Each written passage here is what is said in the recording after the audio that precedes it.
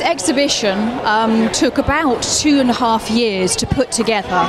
Um, it's a ROM uh, created exhibition, but obviously all these objects are coming from the area of Pompeii and the Museum of Archaeological Heritage at, in Naples and the storerooms of the Pompeii site itself. We're very fortunate to have been loaned so many beautiful objects. We are here from Legions 30, 24, and 2, and we're here to show everyone how fun and exciting it is to be here for the Pompeii exhibit.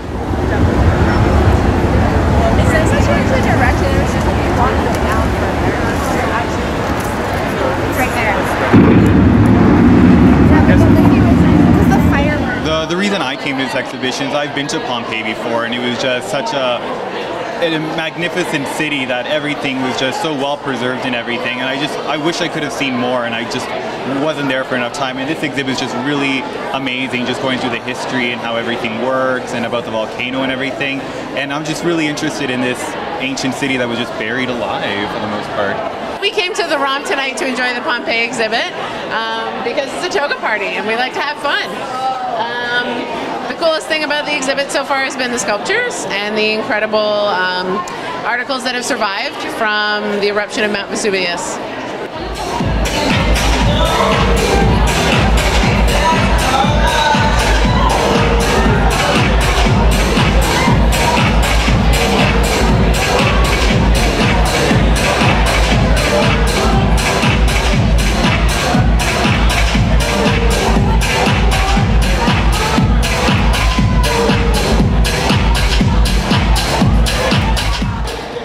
My favourite objects is actually an intricate floor mosaic showing some seafood, some marine life.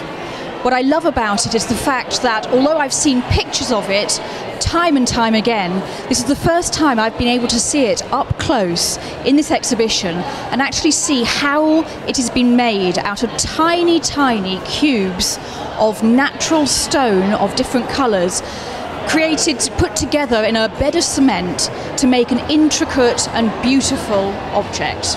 Definitely very interesting. It shows you a lot of uh, pieces of history, um, and like the preservation and makes such beautiful pieces, and it's very very interesting. and the Romans really did influence our just every everyday life, and it's amazing just to see the similarities between Pompeii and modern society as well. So it's really and you get to learn so many new things, so, which is really cool. yeah, yeah, Yeah. It's always a learning experience. Something that we're very excited about is the fact that for the first time outside Italy, we are actually getting some copies of the body casts that have never before travelled. They are made using the new 3D printing technology after 3D scanning, and this is their first, this, their debut outside um, Italy. Um, I'm having a great time. I've personally, I, I was just, I just came back from Italy a few months ago, so just seeing it firsthand in my own city is truly amazing. It's been wonderful. I think it's great. Um, I, there's a bit of a documentary on this, so it's kind of nice to see it um, in person and um, get to see all the neat, different uh, things that they found. Yeah, there's so much history here and so much to learn. So I suggest if any of you are thinking of coming out, then make sure you do.